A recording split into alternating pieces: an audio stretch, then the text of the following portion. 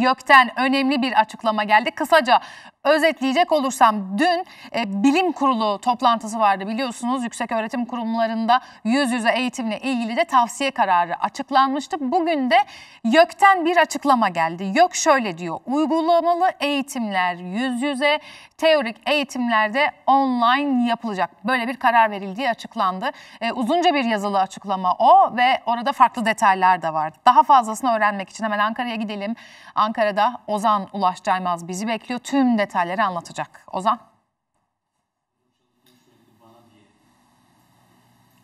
Bilindiği üzere Yüksek Öğretim Kurulu geçtiğimiz haftalarda oldukça geniş kapsamlı bir anket çalışması yapmış ve 1.2 milyon öğrenciyle yapılan bu çalışmanın e, verilerini sonuçlarını da Sağlık Bakanlığı'na e, iletmişler ve bahar döneminde yüz yüze eğitime geçilip geçilmemesi hususunda bilim kurulu üyelerinden görüş talep etmişlerdi. Tabii açılışta siz de değindiniz. Dün bilim kurulu toplantısı vardı ve bu husus masaya yatırıldı. Toplantının ardından yapılan yazılı açıklamada ise e, özellikle uygulama uygulamalı eğitimlerin ki sağlık bilimleri de burada e, ön plana çıkıyor. Uygulamalı derslerin yüz yüze yapılması konusunda e, bir görüş bildirildi fakat bazı tedbirler de sıralanmıştı. YÖK'ten de yapılan e, resmi açıklamada bu tedbirlerin altı çizildi. Uygulamalı eğitimlerin azami dikkat gösterilmesi ve sıkı tedbirlerin alınması şart, şartıyla e, grup dersleri halinde seyreltilmiş bir şekilde yüz yüze yapılacağı belirtildi. Teorik eğitimlerin ise yine Sağlık Bakanlığı Koronavirüs Bilim Kurulu'nun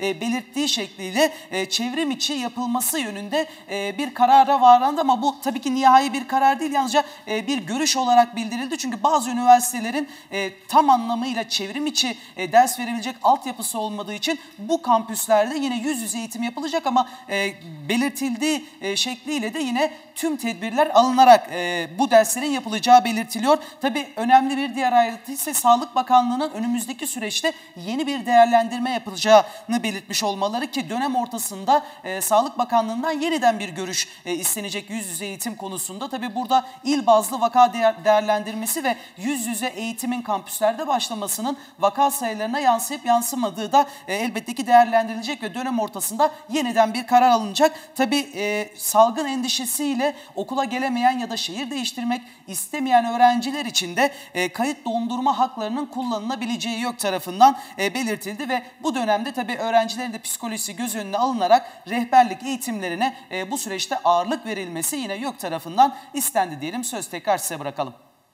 Ozan Ulaş Caymaz Ankara'dan aktardı YÖK'ten gelen o yüz yüze eğitim açıklamasının detaylarını.